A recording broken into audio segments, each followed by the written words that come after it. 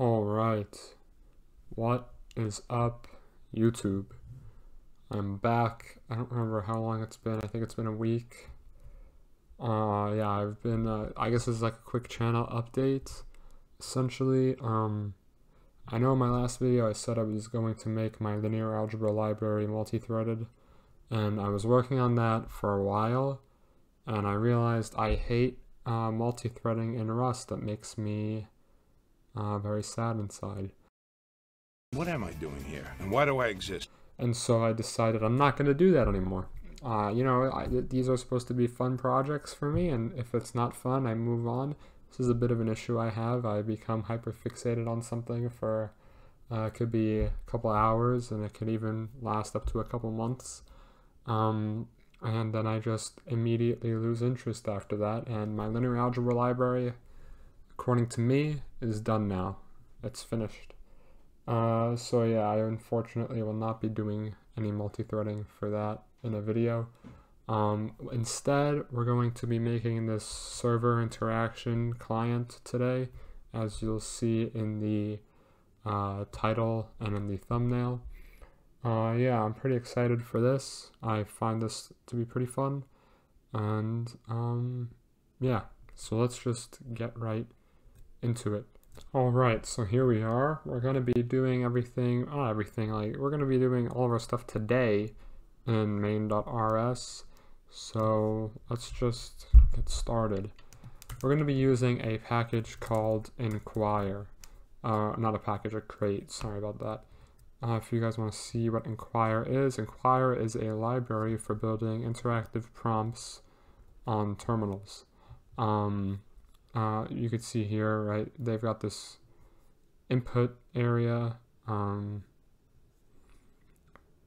uh, this doesn't really do a good job of showing it off, whereas the GitHub, it's actually a lot cooler in the GitHub. That's the same example. Uh, here we go. I got it now. You see, they've got calendar things. Uh, you can fill in stuff you can select things. Uh, but yeah, pretty pretty sick in my opinion. Um, I guess this is a quick story time. When I first started learning how to program, I don't know how long ago now, that might have been five, six years ago, uh, with Java. This was all I did. I just made terminal uh, choose your own adventure games, really. And it was all this stuff, like selecting stuff, um, typing in answers. It wasn't as complex as this. I mean, they've got auto completion, uh, fuzzy search. Um, but yeah, I don't know. Whenever I see something like this, it brings me back to the old days of before I was in college and I had to code for assignments and I was just coding for fun. Now it's just doesn't really hit the same anymore. You know what I mean? Anyway, uh, so we're just gonna do cargo add inquire. This is going to do all of that. Um, and so we're going to say, uh, these are the things that we're going to need. We're going to need select, which is going to give us the menu where we select items from. And we're going to be using some of the UI stuff, uh, such as attributes, color, style sheet, um, render config, that's that. And also we want inquire error because we want to be able to handle our errors nicely. So here, let's, uh, the first thing we're going to do is get our render config. Now, I don't want to use the default configuration. I want to sort of customize it. Um, so that's what we're going to do. fn get render config. It's not going to take any parameters, and it's going to return a render config uh, struct.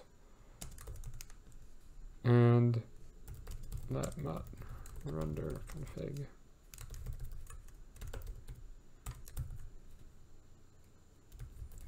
We'll set it equal to the default stuff. That way then we can manually change some of the items. So render config dot answer we're going to create a new style sheet for the answer. and it's gonna have with attribute um,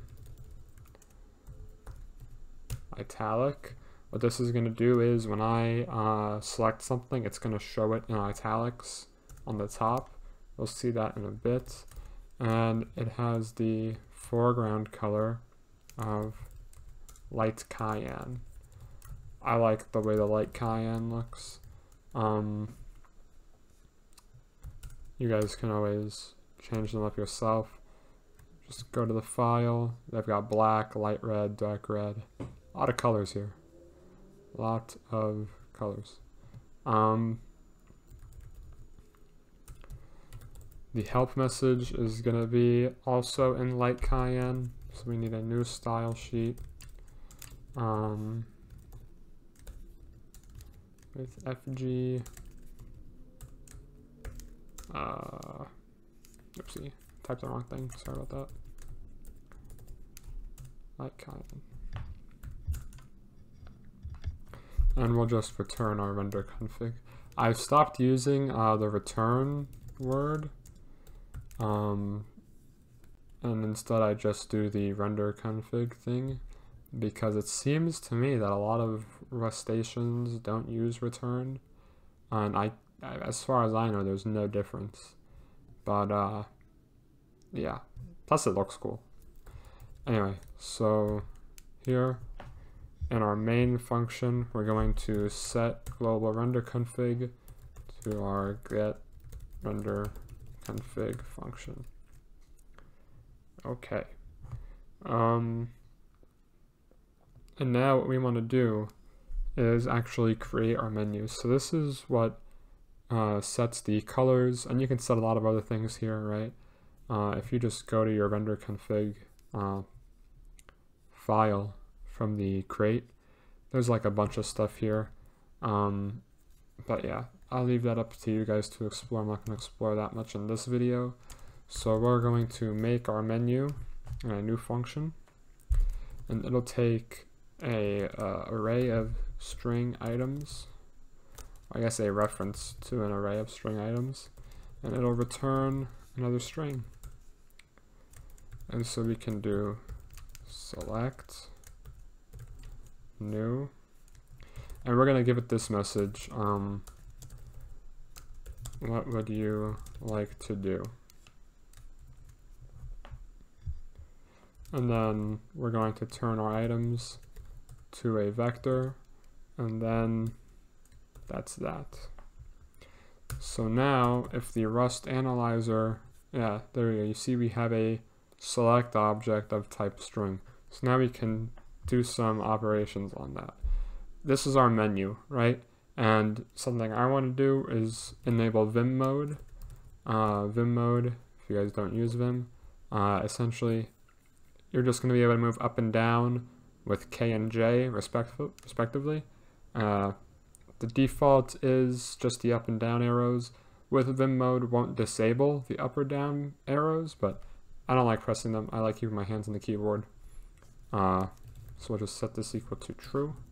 And then we do with help message, we'll say Vim mode enabled, uh, enter to select, type to filter. Doesn't really matter for our filter stuff. Uh, we're not going to have too many options, but you know, why not? And this creates the prompt, and then we can unwrap uh, or else. Otherwise, we get an inquire error, and we can just return e dot string.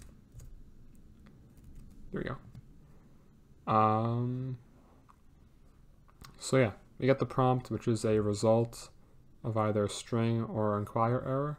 We unwrap it into a string, or we just return the error in string form. So now in our main function, uh, we can match on that. So match menu. And here are our items. We're going to have array, send something,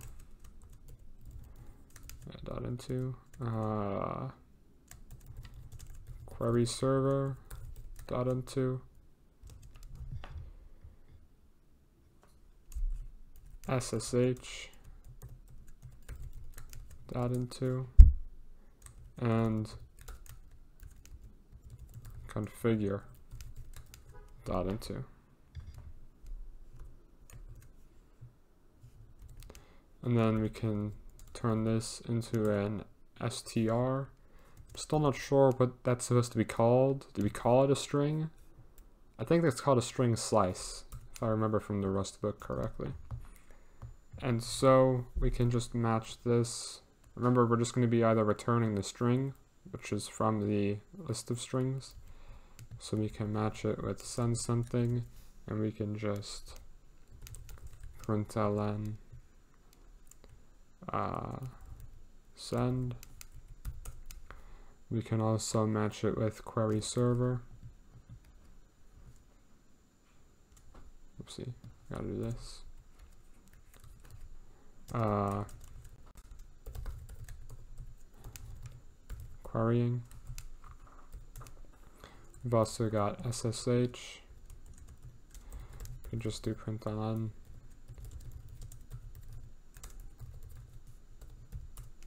And we've also got configure. I think my next video will be on the configuration. We're just going to make a config file. Um,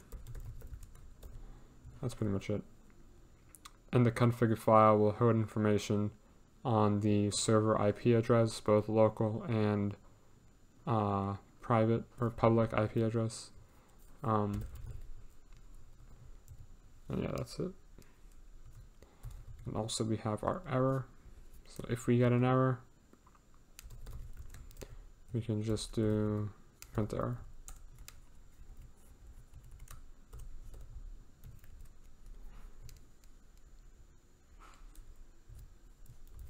So clear this. Uh, the compilation might take a little while because we're compiling the uh, external crate. Alright, yeah, whatever. I thought I used the inquire error. What are you talking about? Oh, because of the type inference. Well, you know, I want to use the inquire error. So I'm going to say um, it's of type inquire error. So yeah, as you can see, I'm pressing J and K, and we've got these four items here. And let's see what happens when I click query server. See it comes up with query server in the top in italics and light cyan, and it prints querying. Now this is just a little uh, fun thing I wanted to do. It's probably not necessary. We're gonna do macro. We're gonna create a new macro. So we do macro rules reset. Uh, that's just gonna take one parameter of type expression, and we're gonna do println. What reset is gonna do is it's gonna reset our terminal. Um, we're going to clear the terminal, which is what the uh, slash x1b bracket 2j does, right? This is just 27 in hex form. Uh, you could have also done slash 033, I believe, for octal 23, I mean 27. Uh, this resets, this clears the terminal, and then slash x1b 1 semicolon 1h is going to put the cursor in the top left and then we're going to print out the expression. Oops, expression. Uh, I've got to put the dollar sign. And that's that. Let's just, uh, ah, reset. So let's see what happens now when I do cargo run. And I go to query see how it resets the terminal. Whereas if I just do a different one, like send something, it won't reset the terminal. So uh, yeah, that's it for now. I just wanted to get a YouTube video out and I wanted to do this little menu thing. Like I said, I like this Inquire crate. I think it's pretty sick.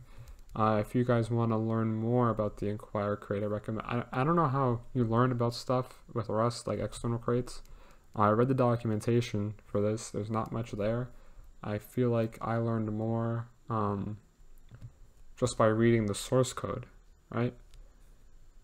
as you can see here, we've got the select struct, and you've got vim mode, help message, then you've also got, of course, the functions for that. Uh, with vim mode, without help message, with filter, etc., etc. This is how I learned how to do this, right? I had only known what this thing is because of a video by No Boilerplate. I'll put that video in the description below. Um, and he only did a simple select menu. I wanted to do the with Vim mode and I wanted to do my own help message. So I feel like that was a pretty good way to learn more about the crate, just reading the source code.